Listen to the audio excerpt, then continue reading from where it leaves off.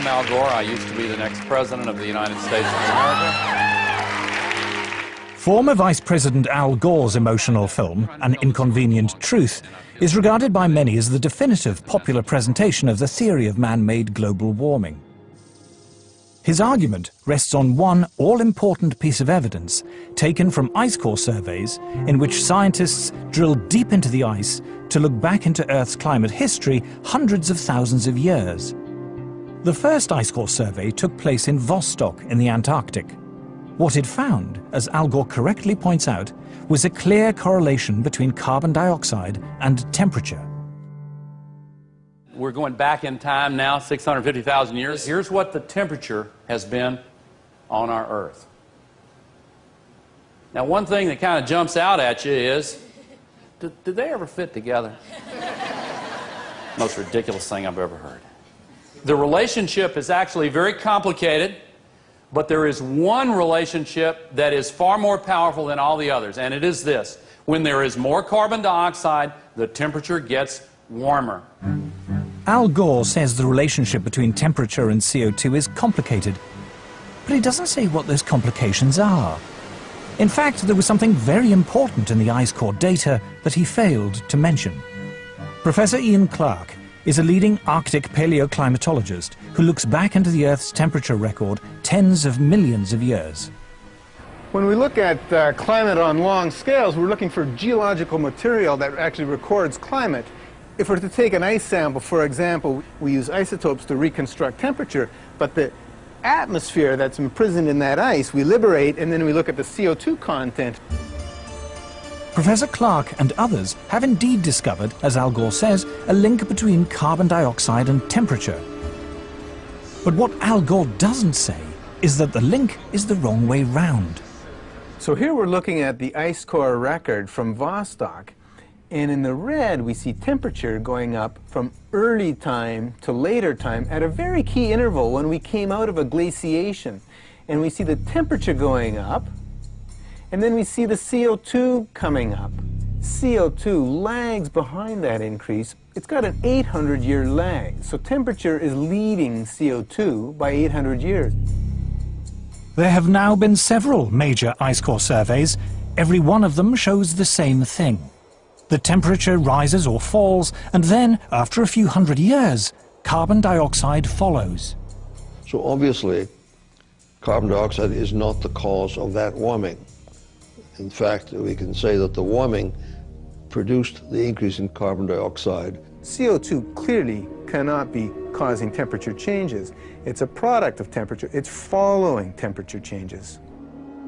The ice core record goes to the very heart of the problem we have here. They said if the CO2 increases in the atmosphere as a greenhouse gas, then the temperature will go up. But the ice core record shows exactly the opposite. So the fundamental assumption, the most fundamental assumption of the whole theory of, of climate change due to humans is, is shown to be wrong.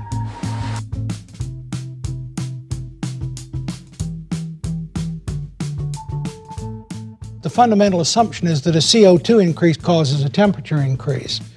The difficulty is that that doesn't occur anywhere in, in the record. This is the ice core record with the temperature variation, and then it's plotted against the CO2. And I remember when this first came out in 1991 with Petit and Jouzel and the French uh, researchers, and, and they warned, they said, don't rush to judgment on this.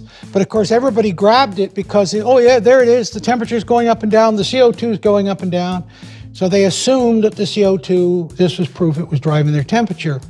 Five years later, we discovered is exactly the opposite, that the temperature changes before the CO2. In other words, the most important assumption of their hypothesis is wrong.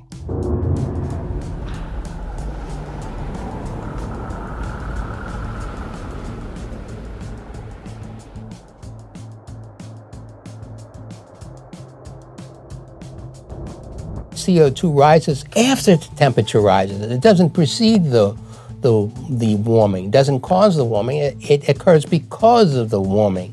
It's absolutely clear that uh, in the past, uh, the temperature always went up first before the CO2 went up, every single case. As the atmosphere gets warmer, warm spell develops, a few hundred years later, then the CO2 builds in that warm air to a higher level. But it's not the other way around where the CO2 builds and that drives the temperature up. It's as the air warms up, it can hold more CO2, so more CO2 stays in the atmosphere. Scientists are increasingly becoming disenchanted, and a large number of very high profile physicists have come out, even Nobel Prize winners, and, and denounced global warming as the greatest scam in scientific history.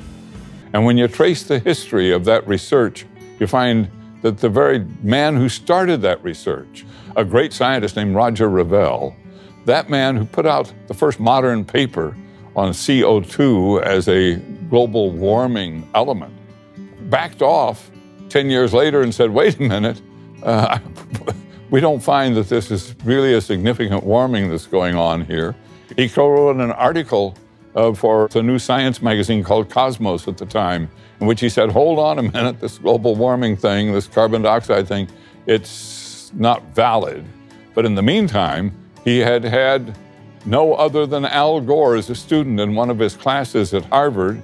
And Al Gore had picked up on this global warming thing, and it became an absolute cornerstone of his life. So there we are, folks. A fallacy, bad science, and the scientists who started it backed off on it.